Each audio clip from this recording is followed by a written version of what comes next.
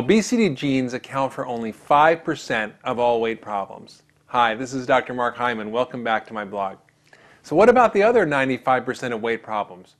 Why are we seeing such an epidemic of obesity in America today? It's the single most important public health issue facing us. So, if our genes don't account for obesity, is it our high fat diet? Well, as we all learned in medical school, fat makes you fat. And fat contains 9 calories per gram, so eating more fat will get you more calories and you'll gain more weight. Seems obvious, right? Wrong. in fact, pioneering research by David Ludwig from Harvard Medical School, who I've written about before in a previous blog regarding his book called Ending the Food Fight, which is actually going to be released in paperback on April 17th, has done groundbreaking research that shows us the real reason that low fat diets do not work and discovered the true cause of obesity for most Americans. He published two recent studies, one in the Journal of the American Medical Association on May 6, 2007, and one in the American Journal of Clinical Nutrition in 2008. Now, he correctly pointed out that careful review of all the studies on dietary fat and body fat, such as those done by Walter Willett of Harvard uh, School of Public Health, have shown that dietary fat is not a major determinant of body fat. In fact, other research studies like the Women's Health Initiative, which is the largest clinical trial of diet and body weight, showed 50,000 women on low fat diets had no significant weight loss. Another study looked at 12 months uh, with people on four different diets, including no dramatic, including uh, Ornish and, and, and, and uh, Atkins and so forth, showed no dramatic differences between the groups of very low fat, low carb, and, and very low uh, carb diets. And the question then becomes why are we seeing no significant effect from these various diets? Well, the main reason Dr. Ludwig suggests is that we're looking in the wrong place for the answers. The future of treating obesity and weight is personalizing our approach. That's what I wrote about in my book Ultra Metabolism called Nutrigenomics.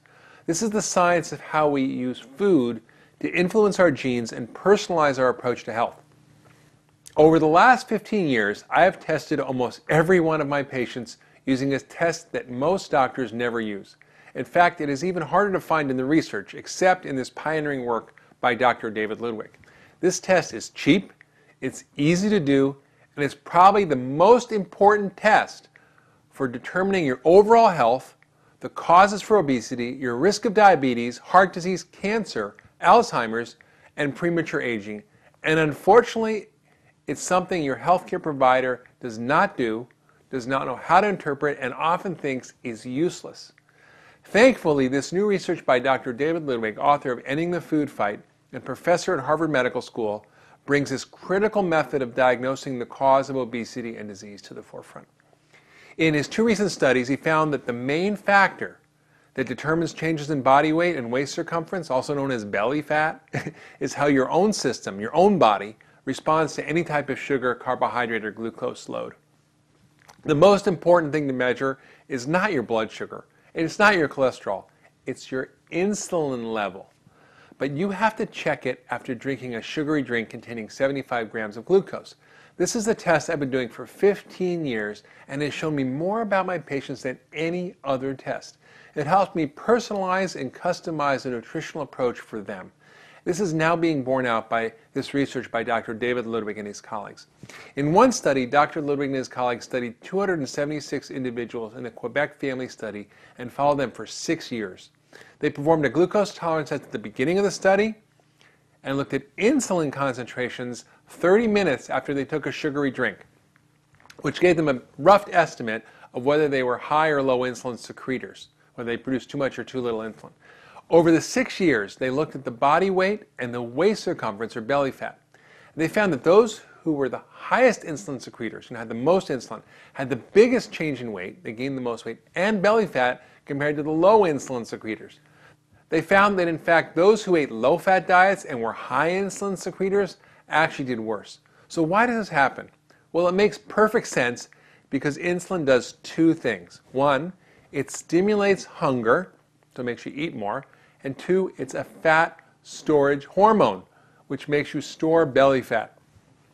So when you spike your insulin right after a carbohydrate meal, your blood sugar plummets, creating a little while later um, low blood sugar. And that makes a life threatening emergency, which makes you very hungry. That's why you crave more carbs and more sugar, and why you eat more the whole day. He also found that in patients who ate the low glycemic load diet, which lowers the blood sugar and keeps the insulin levels low, they had much higher levels of the good cholesterol, or HDL, and much lower levels of triglycerides. So it appears that the best way to address your cholesterol is not necessarily eating a low fat diet, but eating a low glycemic low diet, which keeps your blood sugar even.